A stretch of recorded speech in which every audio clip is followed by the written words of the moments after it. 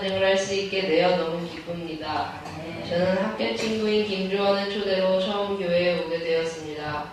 그리고 이 교회 분들은 다른 곳보다 좋은 분들이고 다른 곳보다 더 재밌는 교회라는 생각이 들어서 계속 나오게 되었습니다. 저는 교회에서 찬양을 부르는 것이 가장 좋았습니다. 저는 행복하게 살고 싶고 예수님과 가깝게 지내고 싶어서 구원을 받고 싶어 했습니다. 어느 날 제가 하나님의 나라에 가고 싶고 하나님의 나라에서 행복하게 지내고 싶다는 싶다고 전도사님께 말씀드리니까 전도사님이 그럼 정말로 구원을 받고 싶냐고 물으셨습니다. 그렇게 물어보시면 구원받는 것은 어떤 것인지를 물어보셨습니다. 저는 지금까지 제 마음대로 살아서 죄가 있습니다. 그러나 그 죄를 예수님이 짊어지시고 돌아가셔서 제 죄가 해결되었습니다.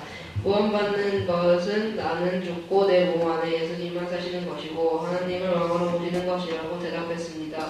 그렇게 전도사님과 함께 예수님의 이름으로 기도하여 구원받게 된 구원받게 되었습니다. 이제 저는 죽은 후에 예수님과 같이 부활할 수 있습니다.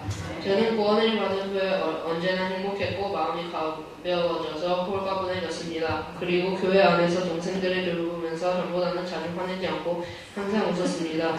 저는 앞으로 하나님을 내 왕으로 모시고 하나님의 뜻대로 살아가는 사람이 될 것이며 하나님께서 제가 안 좋은 길로 갈 때는 막으시고 좋은 길로 갈 때는 막지 않으실 것을 믿습니다. 저는 하나님께서 더 이상 싸움에 유혹하지 않기를 바라시는 것 같습니다. 그리고 친구들을 전도하고 사람들이 전도하는 것을 바라시는 것 같고 마지막으로 더 이상 모든 사람들이 죄를 안 짓기를 바라신다고 생각합니다. 갈라디아서 2-20절